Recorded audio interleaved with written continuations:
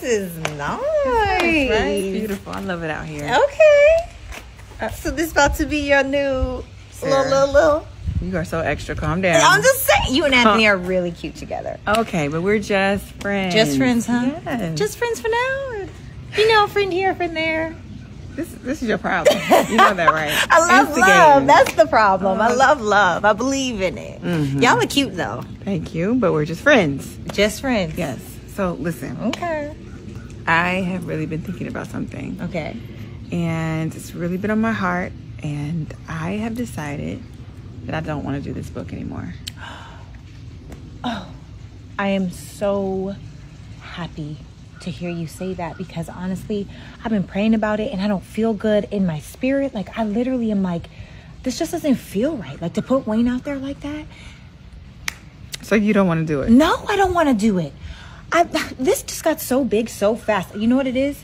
I told Flo I wanted to write my story. I just mm-hmm. wanted to share my story, my experience. And then, you know, I got wrapped into the snowball effect of her saying, "Let's get this person and that person and Amber and all these people." And it just it just doesn't feel right. I'm not gonna lie, Sara. It definitely felt like you were trying to come after Wayne. I, I mean, at first, yeah, I was hurt, but it wasn't about that. Even, even like in my answers, like I don't think Wayne is a bad guy. I don't think mm. he's a bad guy. I don't think he's a bad person. I think he's really honest, and we just fall into the trap of his honesty. To be completely real, you know, we kind of do this to ourselves. Well, I believe that you sow what you reap, right? Yes. Or you reap what you sow. Ah, Say. also true. and, yes.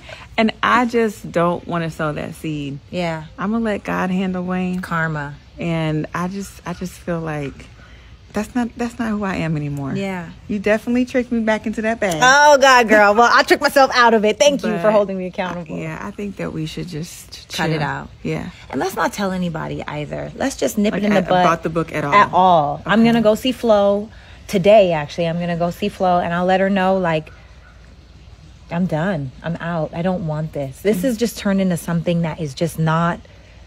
How do you think she's gonna handle it? Do you know her well? Like, I mean, not well. Well, do you think she's gonna stay quiet? honestly, I don't know. But at the end of the day, I don't. I just. I don't want to do it. Yeah. I don't want it. It doesn't. I was praying, girl. I was praying to God. Nothing in my spirit feels good. Literally nothing. And then also, you know, as a businesswoman, I don't want to go up against Wayne.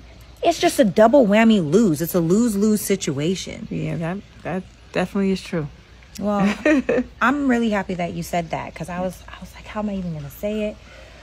So now we can just work on our newfound Friendship. friendship. Ah, Okay, don't get carried away. Oh my queening.